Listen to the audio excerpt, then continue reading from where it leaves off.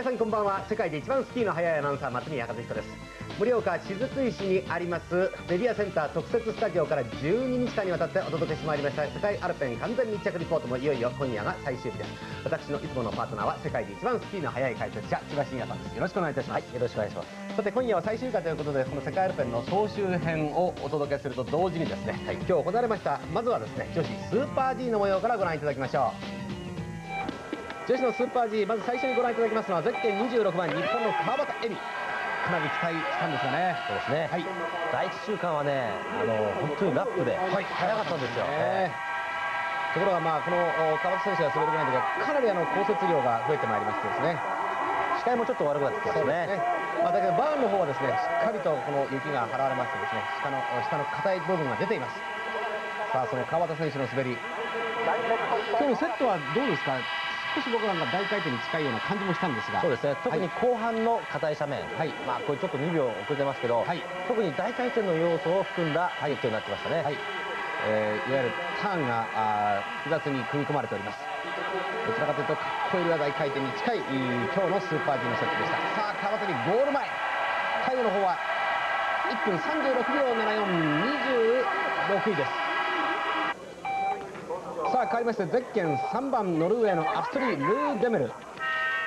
格好で調子に乗ってますからね、はい、ダウンヒルでは見事に銀メダルを獲得しましたルー・デメル。やっぱり一旦こういう若い選手21歳ですがこの調子に乗ると怖いですよね、はい、テクニック的にもですね、はい、大会に出て滑ってなんか掴んだような気がしますね、ね。ええ、まあ、あのノルウェーの男子チームが特にこの大会では絶好調でしたんでチームまさにそのルードメルは引っ張られる形ですね、はい。えー、好成績を上げています。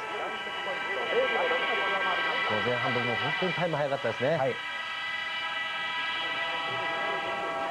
ご覧のようにあの画面でお分かりになると思いますが少し黒くなってますがこれほとんど凍ってます。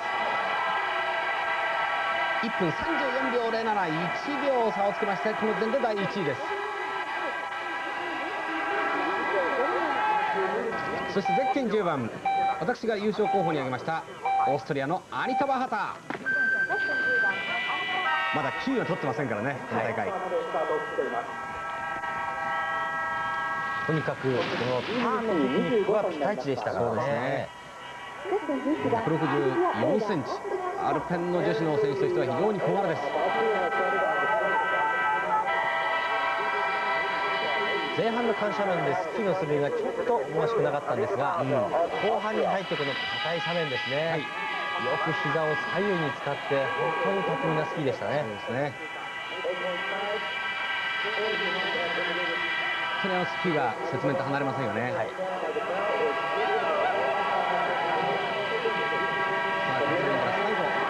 ジャンプして、えちょっと飛びすぎましたよ。1分34秒52この時点で第3位です。ちょっと風がね最後ゴール前あったようですね、ね。えー、トップが吹いてましたね今一瞬ね、はい、さあ続きましてゼッケン11番。同じくオーストリアバハタの同僚はシルビア・エダー。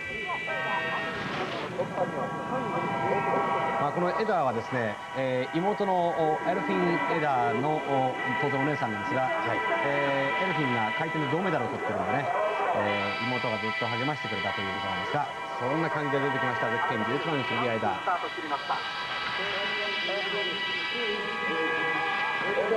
中間0秒52早いです。でも最高速は100キロは出てますね。そうですね。はい、ええ、さあそのエダー後半に差し掛かります。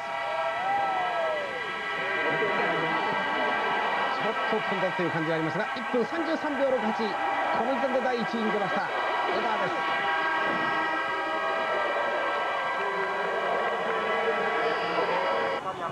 そしてゼッケン12番はフランスのキャロル・メル。まああの大本命とあえてあげればこのメルルなんですよね。そうですよね、はい、あの大回転ではものすごい気迫の入った滑りを見せてくれたんですが、はい。このスーパー G やはりスピードがですね、はい、100キロぐらい出る出る時点で、はい、精神的にその受けるプレッシャーっていうのはやはり選手にあると思うんですね。ねですからこういう高速ターンに入りますと思わず体がですね、スキーを横にしてしまうとなるほど。いう状況でしたね。はい、まあ、メルル自身はですねと一安心してしまったのかも分かりませんけどね。とにかく彼女自身はスーパー G が一番得意な種目でありますがゴールして1分34秒79がこの時点で第5位です。そしてゼッケン13番はドイツのカーチャ・サイチンガー。ダンヒルでは惜しくもメダル届かず第4位でしたどちらかとこの選手はダンヒルの方が得意な選手なんですかね、はい、そのなんとかメダルを取ろうというやはり気迫が溢れてましたね。とにかくこのドイツチームはですね、はい、高速筋強いですよね。そうですね。これはもう昔からこのドイツ女子の伝統ですね、はい、男子もそうですけどね、まあ、特に女子の場合は高速点強いという伝統があります非常に選手層も厚いんです。さあゴール前出てきました。ちょっとジャンプスキーが浮き上がった。1分33秒52第1位に出ました。中間タイムから後半の滑りがね良かったですね、そしてゼッケン14番カナダのケリン・リーガードナーこの選手もどちらかというと大回転じゃなくてあの格好の方が得意なんですけどね。えあのオリンピックの金メダリストですからね、はい、去年のアルベールビルでは金メダルを取りましたケリン・リーガードナー。若干の画面でも分かるように、はい、ターンの最中にですねスキーのトップの開きが目立ちます、はい、あれがあの減速につながるんですよ。あのジャンプではよく V の実況と最近言われてますけどね、はい、アルペンではああいうふうに開いてはいけません、つまり、はい、スピードが出れば出るほど、はい、あのトップを開くことによって減速になってしまうんですなるほど。ですからきっちり日本のスキー平行にして滑らなきゃダメですね、ね、さあそのカナダのゼッケン14番。ケリン・リー・ガードナーは1分34秒21で第4位です。そしてゼッケン15番はオーストリアのウルケマイヤー。とにかくこの世界アルペン世界選手権でこのスーパー G3 連覇がかかってます。さあベール89年そしてガールバッハ91年に続いて93年盛岡雫石でスーパー G の金メダルを取ることができるかマイヤー。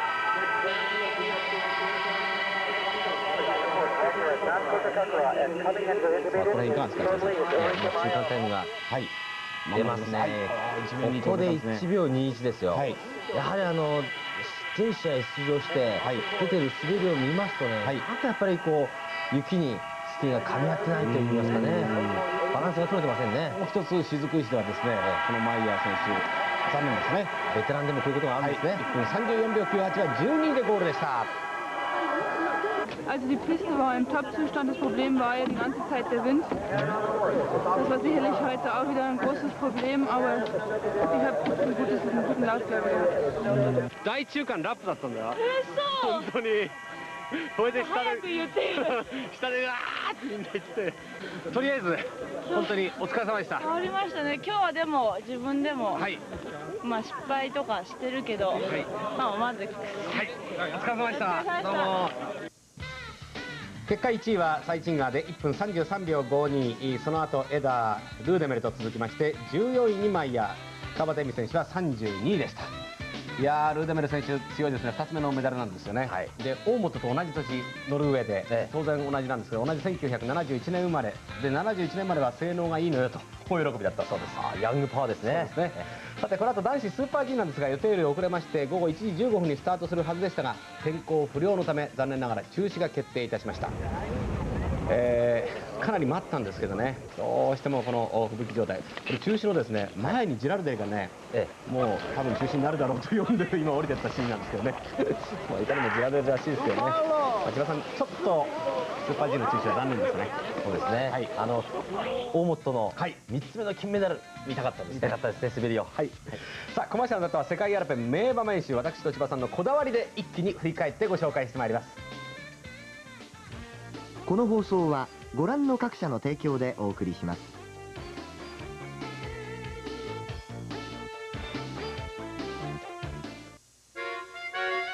ふわふわ。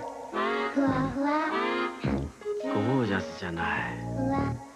ふわふわ。ふわふわ。ふわふわ。知らなかったなそうか足りなかったのはふわふわか。ふわふわハッチーニファーテリアの丸八からかゆいところに手が届く一番進んだ地球の耳かきですランディーズランディーズランディーズ日立のミニショベル小さな天才ランディキッド。日立県機。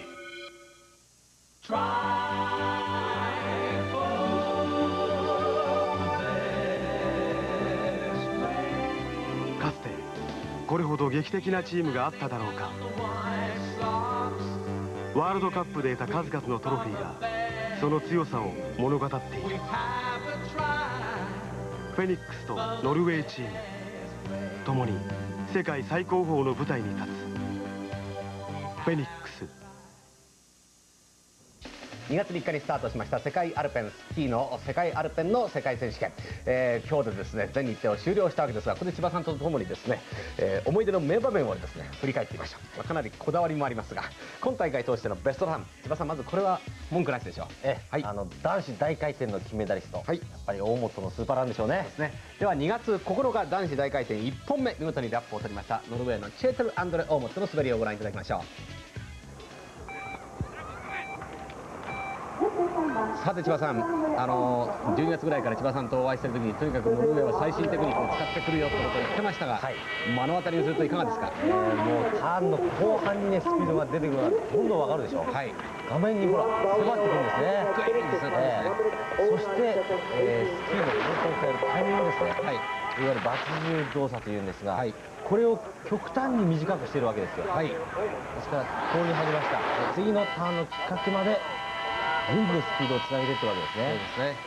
瞬間的に抜重して次のおポールの位置を決めてそこに突き進んでいくわけですね、そのためにはご覧ください。次も分かります両膝の一気に同じ動作をしているわけですね、左右に振るその両膝の動作です。はい。これで一気に方向を変えて直線的なラインでポールから次のポールへスキーを走らせていくというようなそうですね見事ですね。このタイミングをあの大本選手はですね、腕を使いながらもタイミング取ってますよね。ああなるほどね。千葉さんご自身もあのかなり勉強になったということを言ってましたよね。これからのコーチにも役立ちますね。ああそうですね、まさにこれが大回転におけるう世界のお最新テクニックと言っているわけですね、えーということで、まあ、今の滑りはこれからのスキーの大回転における歴史においてスーパーランと言っていいと思いますさて、えー大本は全部で3つのメダルを取りました。金が2つ銀が1つなわけですが、えー今大会最高です。その他ジラルデリが回転で銀複合で銅。バハターが女子ですが大回転で銀複合で銅。ルーデメルが滑降で銀スーパー G で銅というこの3人がそれぞれ2つのメダルを獲得しています。さあ続きまして同じく印象的な滑りは2月9日に行われました女子の回転から印象的な滑りを2本続けてご覧ください。まず回転で金メダルを取りましたこのオーストリアのブーダー選手の滑りをご覧いただきましょう。まあ1本目は千葉さん7位だったんですが、この2本目の滑りはスーパーラップでしたね。早かったですね。ですね。1本目で1秒ぐらい差をつけられたんですけどね、1秒以上の差をなんと取り戻します。ほとんどこのポールを受けるのは右手。たまに右ターンはクロスしてご覧のようにポールを受けます。非常に極限ですね。ほとんど左足1本だけで滑ります。そしてこのポールを受けるのは右手だけです。やはりクロスで受けますが、まあ、こういうふうに足からで実際には千葉さんちょっと失敗なんですよ。あの、まあ左足1本滑ったところは、まあ、リカバリーと言っていいでしょうね。そうですね、それでも速かったんですね。そして1本目1位ニュージーランドのコバーガー、まあ、とにかく1本目1位でそれで1秒以上差をブーダーに離してますんで、まあ、これだったら大体100%スーパーランしなくても。ええそうですよね、まあ彼女の頭の中には、まあ、ブーダーに1秒以上離してるし、まあ、あの安全に行くと勝てるかなというねそうですね。作戦があったでしょうね。まああのここまでの滑りだけを見ますと非常に、えーそういう安全というよりも結構積極的に来てますよね。ええ、もちろんタイムも勝ってますからね、さあ最後の緩斜面に入ってまいります。ストレートを抜けます。ゴールが見える。この赤ここですね。あーっとあと3旗門青赤青と残ってた。あと3旗門ゴール前であれはないですよね。信じられないですね。1本目50旗門2本目2本目が53旗門、はい。合わせて103旗門100旗門とこでやったわけですね。1問目ですか。1問目ですよ。ね。えまあとにかくニュージーランドに初の金メダルをもたらすかと思われたコバーガーだったんですが惜しくももう金も銀も銅も全部あれで失格ですからね。あの第スタートして第一鬼門で引っ掛けるっていうのよくありますよね。よね、ええ。ー本当にゴール前も気をつけなくちゃいけないしゴールも鬼門の一つです。さあ続きまして千葉さんの一押しは2月10日に行われました女子の大回転から優勝したカロル・メルルのスーパーランをお届けしましょうさあメルルはとにかくこのオリンピックそして世界選手権銀メダルは何度も取ってるんですが金メダルにとにかく手が届きません。まあ回転以外はとにかく十分メダルが取れるというこのメルルのまず大回転の1本目。いやもう滑りを見てましたらね、はい。金メダルしか頭にないですよもう。そうですねその他は2位3位はいらないといった気迫がね感じられましたね。はい。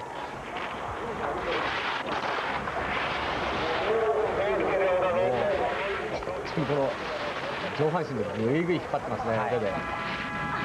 ギリギリの滑りですよね。はい。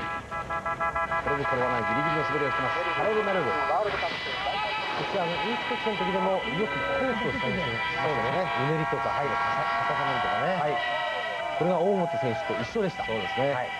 斜面の代わりにうねり片車ところがここで。ものすごいリカバリー能力ですが。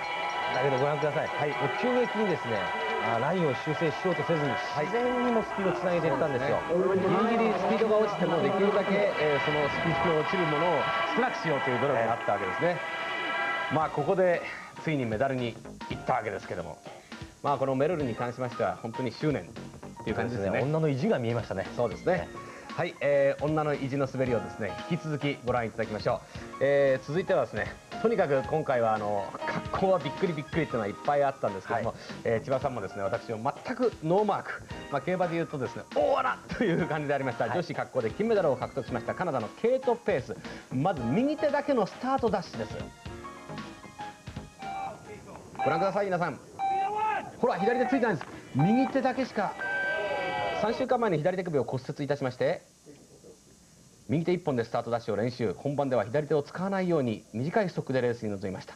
それでいまして第2シードゼッケン17番ながら見事に金メダルを取ったんですね。まあこの喜びよったらなかったですね、左手もこういうご覧のように全然違うグローブをはめてます。はい。見事なもんですよね。できるもんなんですか？いやスタートはいいんですけどね、はい。滑る時にやっぱりバランス取らなくちゃいけないですからすね。一本は短いと相当あのバランスが悪,、ね。悪くなりますね。はい。さあそれでは思い出の名場面最後はスーパースターアルベルト・トンバたった1回。雫石整備士は唯一の滑りです。男子回転の1本目です。2月13日土曜日です。トンバの回転1本目とにかく雫石に入りまして39度の熱を出しまして大回転が記念をしました。この日も本人はスタート前にせいぜい言っても80%ぐらいの体調だと本人は言ってましたがなんかスタート前にめまいがするっていう話をね、言ってましたよね。しかしめまいがしても前半これだけの滑りができるわけですから、はい、え大したもんですよね。まあ、様子を見ながら滑ってると思うんですが、はい。まあ、タイム的にはそんな悪くなかったですよね。ですね。もうストレートもなかなか綺麗に抜けてます、ところがここあれは本当にえ見ても一瞬分かんなかったですね、えはい。青のポール。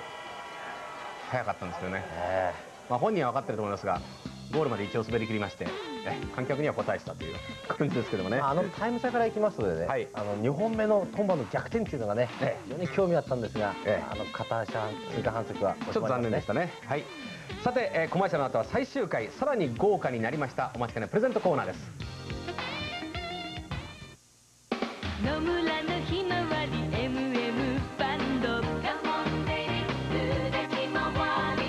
鮮やか爽やかひまわり。カモンベリーでひまわり。街中みんなが噂する。街中みんなが嬉しそう。カモンカモンルーでひまわり。野村の MM ファンドひまわり。野村証券またはお取り扱い証券会社へどうぞ。DX リロード A リロード B リロード C リロード DX 三生薬配合のグロン酸パワーグロン酸 DX もう一頑張り中外製薬。おはよいつもと違うみたい。あれだよ。寝る前にあれを飲むとスクラルファートが荒れた胃を守ります。朝が違う。中外胃腸薬細流いつもと同じ。寝てる間に効くらしいよ。中外製薬世